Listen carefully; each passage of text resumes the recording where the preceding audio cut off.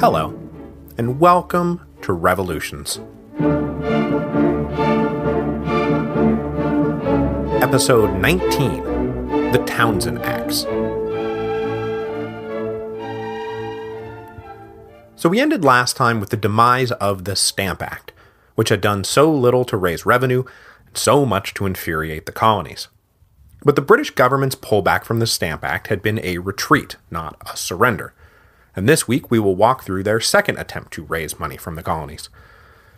Before we get going, though, I should also probably point out that my dream of succinctly moving through the pre revolutionary period in two episodes was, of course, pure folly, and I've expanded it out to three. So, last time was the Stamp Act. This week will be the Townshend Acts. Next week will be the Tea Act, which works better from a narrative perspective anyway. Okay, so by the spring of 1766, the Stamp Act has been repealed and the Declaratory Act passed. This formula for ending the crisis worked well for the moment, but Lord Rockingham did not long survive the solution, and in July he was dismissed as Prime Minister. In his place, George III turned to the man who had successfully steered Britain to victory during the Seven Years' War, William Pitt the Elder. This was good news for the colonies, as Pitt had just come out as a full throated supporter of American interests, but while it looked good on paper, the reality left much to be desired. In accepting the prime ministership, Pitt was also created First Earl of Chatham, taking him out of the House of Commons and plopping him into the House of Lords, where his ability to manage daily administration was much reduced. Not that it mattered anyway, Pitt was in poor health and frequently absent from London altogether. Without a strong guiding hand, the individual ministers were left to their own devices, even those devices ran contrary to Pitt's wishes, as was the case with the new Chancellor of the Exchequer, Charles Townshend. The 41 year old Townshend was famously as sharp of tongue as he was of mind, and he had a reputation for political unpredictability. But he does seem to have consistently believed that there was money to be had in the colonies, and Parliament had every right to get at it. So he started drawing up a colonial revenue scheme that would cleverly skirt the American objection to so called direct taxes. Now, this put him on the wrong side of Pitt, who attempted to oust Townshend from the ministry, but before he could finish the job, Pitt suffered a physical collapse that knocked him out of commission. This left Townshend, the dominant personality in an otherwise weak ministry, and he energetically pushed his plans through Parliament. The result was the passage in June 1767 of the so called Townshend Acts. The Townshend Acts actually refer to five interrelated bills, including one designed to help shore up the floundering East India Company, and one specifically targeting the New York Assembly for their failure to comply with the Quartering Act of 1765. But when most people talk about the Townshend Acts, they are generally referring to is the most explosive component, the Revenue Act, which levied import duties on lead, glass, paper, printer ink, and tea. Exactly the kind of trade based taxes the colonists themselves had just said Parliament was allowed to levy. To ensure compliance with the new duties, the Townshend Acts also created a Board of Customs, which meant that even more salaried agents would soon be digging around in colonial business. But on top of these two innovations, which were sure all on their own to rile up the colonists, Townshend inserted another innovation into this program. Revenue from the duties would be used to pay the salaries of colonial governors. See, up until this point, governors had been paid by grants from the colonial assemblies. This power of the purse had done much to ensure that the governors never drifted too far out of line. Removing this all important check sent the colonial warning bells back to clanging, as it appeared to be striking right at the heart of self government. In response to the Townshend Acts, one of the most influential series of articles of the whole Revolutionary era started circulating the colonies in the summer of 1767 the Letters from a Pennsylvania Farmer, written by John Dickinson, who was no farmer, but rather a successful Philadelphia lawyer. The letters eloquently furthered the argument that Parliament did not have the right to tax the colonies for revenue under any circumstances, and that whatever pretenses to the contrary, the Townshend duties were clearly designed to generate revenue, not regulate trade. The letters were important because initially reaction to the Townshend Acts was muted. In many cases, the colonists were exhausted from the recent battle over the Stamp Act, and they weren't super stoked about having to immediately remobilize for war. But when Dickinson's letters started showing up throughout the colonies, they persuasively confirmed the necessity of further resistance. But Dickinson himself was no radical, and he advocated frugality, home manufacturing, and petitioning as the surest means to avoid falling for Parliament's unconstitutional taxes. It was left to more radical leaders to push the envelope in the great defense of American liberty. Charles Townshend himself, though, would not live to see that great defense, as he died suddenly in September 1767. His death and the continued incapacitation of Pitt the Elder left the ministry basically rudderless, and it fell to the 33 year old Duke of Grafton, First Lord of the Treasury, to try to lead the way, though he would not be recognized as Prime Minister until Pitt finally resigned in October 1768. But don't worry, the Duke of Grafton is not on the test. When the new customs officials started arriving in the colonies in November, the radical leaders in Boston tried to get the rest of Massachusetts to stop buying British goods, but they got nowhere because for the moment everyone just wanted things to go back to normal. But by February 1768, Samuel Adams had called in every favor he could in the Massachusetts Assembly to get them to produce another circular letter, like the one that had gone out over the Stamp Act. Though this letter was milder and merely called for the other colonies to harmonize a response to the Townshend Acts, it did contain the more extreme assertion that the colonists weren't simply unrepresented in Parliament, they could never be represented in Parliament because they were, quote, separated by an ocean of a thousand leagues. So, in other words, don't expect to ever buy us off with like 13 seats in Parliament. The new circular letter was, of course, authored personally by Samuel Adams, who I briefly introduced last time, but since he's so central to the revolutionary movement, we do need to flesh him out a bit. Born in Boston in 1722 to a prosperous merchant, Young Sam entered Harvard in 1736 and was headed for a career in the church, but then politics caught his eye, and he never looked back. Among all the founding fathers, there was probably no one so singularly focused on politics at the expense of every other aspect of his life as Samuel Adams. It was his consuming passion. He went into business after graduation, but had neither the head nor the heart for it, and he lost all the money his father loaned him to get started. His love of politics, though, led him to various public offices in Boston, where he soon emerged as one of the leaders of the popular faction, that is, the group opposed to the men who circled around the royal governor. After the French and Indian War, Adams became a leader in the fight against British taxation, fiercely denouncing in turn the Sugar Act and the Stamp Act, though exactly how involved he was in these Stamp Act riots is still an open question. Not that he didn't approve of them, just that he probably wasn't the arch puppet master his enemies often made him out to be. So when the Townshend Acts came around, Adams was obviously fired up. But as I've mentioned, public opinion was running conservative these days. But then Adams and his friends got a timely assist from the new customs commissioners, who were even more committed to their jobs than the inspectors who had been sent over to enforce the Sugar Act. These new customs agents saw it as their job not to simply collect taxes, but also to reinforce political obedience, which predictably provoked political disobedience. One of the first things they decided to do was to make an example of leading Boston merchant and occasional Boston smuggler John Hancock, who we also now have to stop and take a look at. Fifteen years younger than his political mentor, Samuel Adams, John Hancock was born in Braintree in 1737, making him just 31 years old at the time of the Townshend Act crisis. After graduating from Harvard in 1754, he went to work in his uncle's import export house, where he made a good living on government contracts during the French and Indian War, and he started to appreciate the finer things in life. After a short stint living in London to work the other side of the business, Hancock returned to Boston and inherited everything when his uncle died in 1764. But as successful as he was business wise, Hancock was mostly obsessed with politics and he soon fell under the sway of Adams, who guided the young man's ambitions, or if you prefer the arch puppet master version of history, the Machiavellian Adams manipulated the rich and gullible Hancock into doing his bidding. Hancock's wealth and radical politics made him an obvious target for the new Board of Customs, who knew that, like most Boston merchants, Hancock had learned the fine art of mixing declared cargo with undeclared cargo with misdeclared cargo. So it shouldn't be too hard to catch him in the act of something.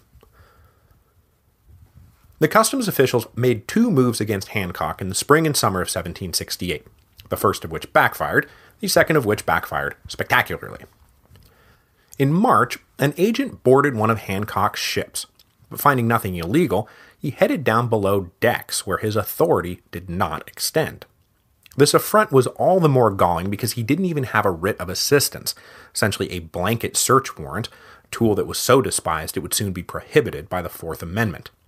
The agent was forcibly thrown off the ship for trespassing. The local court upheld Hancock's right not to be searched illegally. This was the move that backfired. The move that backfired spectacularly came in May, when the Board of Customs seized one of Hancock's ships, aptly named the Liberty, and held it on a legal technicality. This was too much for the rejuvenated Boston radicals. When the Navy attempted to move the ship in June, a mob convened on the dock and successfully prevented the ship from being taken away. When the customs agents filed their reports back home, they described the mob as a bunch of out of control barbarians and begged the ministry to send troops to help restore order. But it was clear from other eyewitnesses that, like the Stamp Act riots of 1765, the mob was disciplined and under control, which, to a guy like, say, Lieutenant Governor Thomas Hutchinson, was actually scarier because it meant that this was not about random passion, but highly organized resistance. By this point, the long distance cross Atlantic communications had finally gotten around to providing the governor of Massachusetts, Francis Bernard for the record, with an answer for what to do about the circular letter that had been passed way back in February. Bernard was ordered to demand the assembly rescind the letter or be dissolved. And this, of course, is one of the major problems with trying to run a territory when you are separated by an ocean of a thousand leagues. When the ministry issued this order, they had no idea that events in Boston had already progressed to organized mob violence. But Governor Bernard did as he was told. The assembly must rescind the letter or face dissolution. In the famous vote that followed at the end of June, the assembly voted not to rescind by an overwhelming 92 to 17, with those 92 soon being hailed in the streets and in the press and in the taverns as the Glorious 92. The Massachusetts Assembly was immediately dissolved. Meanwhile, the merchants of the various other colonial ports were starting to have their reluctance to gear up for war overwhelmed by their annoyance with the new taxes and the new customs officials, and so they started discussing a new non importation pact. But every city was worried that if they made the first move, that all their business would simply move down to the next port. So non importation could only work if everyone signed on the dotted line. When the merchants of New York drew up a pact in April, it was contingent on Pennsylvania signing a similar pact. The now hugely influential John Dickinson threw all his political and rhetorical weight behind non importation, but in the end, the more conservative Pennsylvania merchants refused to budge, and they rejected the pact, which meant that New York rejected the pact, and then it was back to square one. On August the 1st, 1768, however, the merchants of Boston elected to go ahead with unilateral non importation to commence January the 1st. Events since the last meeting in April convinced New York to soon follow suit. Pennsylvania continued to drag their feet, but in the end, the main threat of non importation was not the conservatives in Philadelphia, who did get on board in March 1769, but the loose cannons over in Rhode Island. The Rhode Island merchants took a look around at the closed for business signs going up and said, Well, boys, if we stay open, we are going to make a killing. As well they did until Massachusetts, New York, and Pennsylvania shut up their docks not just to imports from Britain, but also anything coming out of Rhode Island. Ever the pragmatists, the Rhode Islanders drafted a non importation pact of their own, which was just tight enough to satisfy their neighbors, but not so tight that they didn't continue to bring in a few odds and ends spurned by the other colonies. But by then, of course, things had gone from bad to worse up in Boston. Finally, reacting to the Liberty incident, the ministry ordered 4,000 troops down from Halifax in September to help bring the rabble to heel. Reckoning that probably the worst thing that could happen would be for these troops to show up unannounced, Governor Bernard leaked word of their impending arrival. The leaders of Massachusetts then demanded that their assembly be allowed to reconvene so they could discuss a response, but Bernard refused. So on September the 22nd, an unofficial convention of towns met in Boston to urge the governor to reconsider. The meeting wasn't technically illegal, but it was yet another sign that the colonists were all too willing to defy their supposed masters and take matters into their own hands. About a week later, the ships carrying the troops arrived in Boston, and on October the 1st, 1768, soldiers began to disembark. From the hysterical letters coming from the customs agents, these soldiers probably expected to walk into something out of Lord of the Flies, but instead, they found a peaceful city going about its business. The radical leaders recognizing that 4,000 armed regulars is not something you actively resist. But the decision not to engage in any overt resistance did not mean that there would be no resistance at all, as the troops discovered when they found no available lodgings, they were forced to set up a tent camp on the commons. It would take weeks of threats, wrangling, and confrontations before the troops were able to move into passable winter quarters in leased warehouses. So the city may have been peaceful, but it was not subdued. The whole of 1769 was defined by rising tensions in occupied Boston. Soldiers and civilians were constantly at odds and constantly in each other's faces. Boston was a big city for colonial North America, but it wasn't a big city, and the two sides fell into what Robert Middlekauff describes as familiar mutual contempt. The soldiers had a tendency, as all soldiers do, to get drunk, break the Sabbath, and, how shall I put this, seduce away the virtue of the local maidens. On top of that, off duty enlisted men were only too happy to do manual labor to supplement their meager pay taking jobs away from the unskilled workers who formed the rank and file of the Boston mobs. All through 1769, these two sides butted heads, insulted each other, and a few fistfights broke out. Any one of these incidents threatened to blow the lid off the pressure cooker. By August, Governor Bernard had had enough, and after nine years as governor, decided that however this was going to be resolved, he was washing his hands of it. He sailed back to England and the old scourge of the populace, Thomas Hutchinson, became acting governor. Meanwhile, in the rest of the colonies, 1769 saw the continued expansion of the non importation movement. The southern colonies first came on board when the Virginia House of Burgesses met in May, and members began denouncing parliamentary taxation. They were immediately dissolved by the governor, but undeterred, the Burgesses reconvened unofficially at the Raleigh Tavern. There, they debated and then adopted the Virginia Association, a non importation agreement that was not quite as strict as those being passed up in the North, but one that would do the job. The Virginia Association also marks the first foray into radical politics for the wealthy Virginia planter George Washington, who, along with his friend and neighbor George Mason, helped convince their fellow Burgesses to join the association. I'll have more to say about both of these guys down the road, especially, obviously, George Washington, but I think I'll wait to take stock of the indispensable man of the Revolution when he comes striding into the Second Continental Congress wearing a full dress uniform. It's more dramatic that way. After Virginia non importation passed, the rest of the South followed at a rate of about a colony a month, which isn't to say that they needed Virginia to lead the way, just that that's the way it happened to go. By the end of the year, the American colonies formed a solid wall. Orders to British merchant houses dried up, Ships carrying targeted goods were turned away. It had taken a little while longer, but the Townshend Acts, like the Stamp Act, was officially becoming more trouble than it was worth. Unfortunately, things would get worse before they would get better. Though, as we will see next week, things will get better, at least for a little while. Back in Britain, King George finally relieved the young Duke of Grafton of the burden he had proved himself incapable of bearing and he reformed the ministry yet again, this time turning to Lord North in January 1770. North had been serving as Chancellor of the Exchequer since Townshend's death, and he was able to step seamlessly into his new role.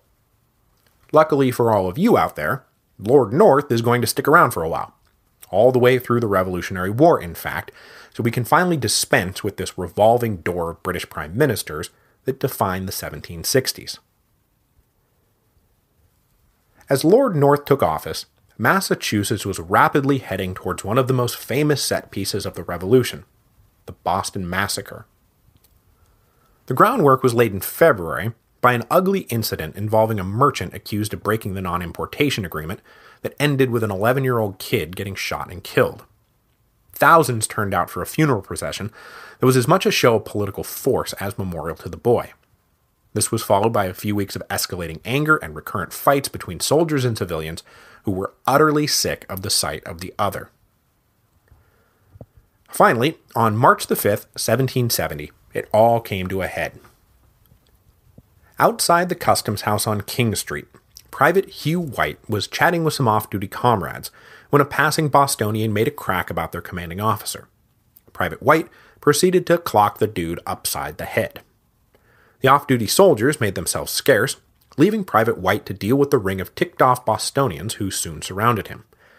White backed up against the customs house door, gun drawn. The growing crowd heckled him and dared him to shoot. Up the street, Captain Preston, commander of the customs house garrison, watched this all unfold.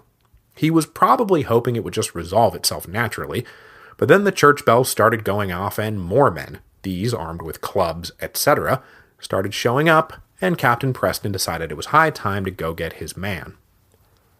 He led a corporal and six privates through the crowd, now numbering some three or four hundred. But rather than just pulling Private White out of there, Preston had his men form a semicircle facing the crowd, guns unfortunately loaded. A tense 15 minute standoff ensued, with the civilians insulting the soldiers and pelting them with snowballs and chunks of ice. One of those snowballs finally hit a private at the end of the line. He fell down, probably after slipping on the ice, and when he popped back up, he fired his gun. Now, reports conflict about how long of a pause followed the first shot, but however long it was, the jumpy soldiers were soon firing into the crowd. Eleven men were hit. Five ultimately died, six more were just wounded. A regiment's worth of British regulars were soon on hand to secure the peace, but though the crowd fell back, it continued to grow and was only dispersed when acting Governor Hutchinson promised a full inquiry. The next morning, Captain Preston and his men were arrested by the local authorities. In the months that followed, a ruckus war in the press erupted as radicals and conservatives tried to control the story.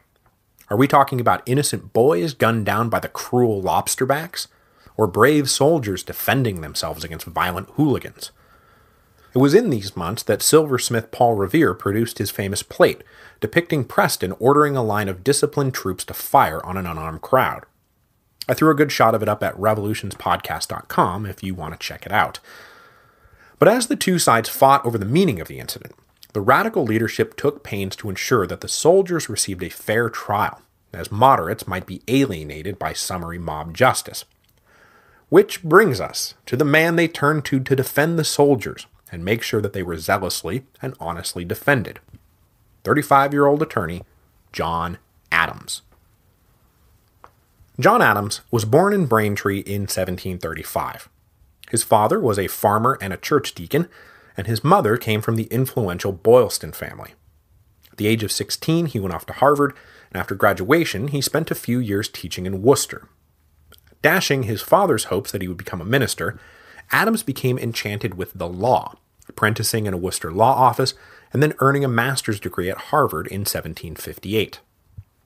After a few years of bachelor lawyering, Adams married Abigail Smith in 1764, creating one of the all time great husband and wife teams in American history. Adams made his first entry into public life the next year as a staunch opponent of the Stamp Act. And though he was an early and committed advocate of American rights, he was constitutionally allergic to the kind of radical populism spoused by his second cousin, Samuel. The short and paunchy Adams was famously argumentative, irascible, and vain. But he was also brilliant and passionate and irresistible, at once awe inspiring and the subject of endless ridicule. And he will soon become known as both the Colossus of Independence and his rotundity. Adams took on the Boston Massacre case with some hesitation. He was, after all, an ambitious man with patriot leanings.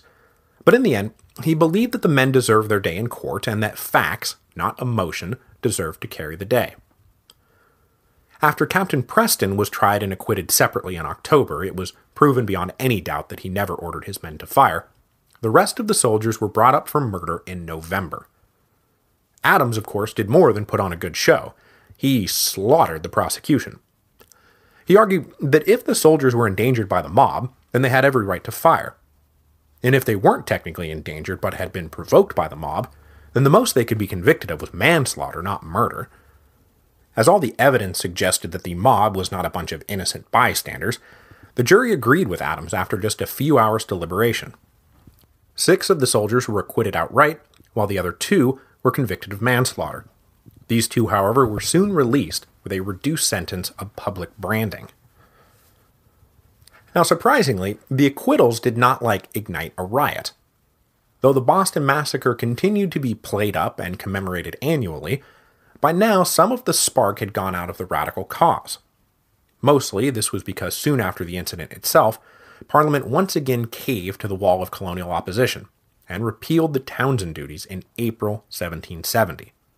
Well, not all the Townshend duties. As with the Stamp Act repeal, Parliament couldn't walk away without leaving its foot in the door, and the duty on tea was kept in place. Too insignificant to provoke mass resistance, but more than enough to keep the precedent going that Parliament had the right to impose whatever taxes it wished, whenever it wished. Next week, we'll begin with two years of relative calm, which everyone hoped meant that the crisis was now over. But in 1773, Parliament will reignite the Patriot flame when they attempt to bail out the totally mismanaged East India Company by allowing them to import tea directly into the colonies, bypassing the colonial merchants who made their living as middlemen. As you can imagine, the merchants were not too happy about this, and they were led down the path to the next great set piece of the revolution the Boston Tea Party.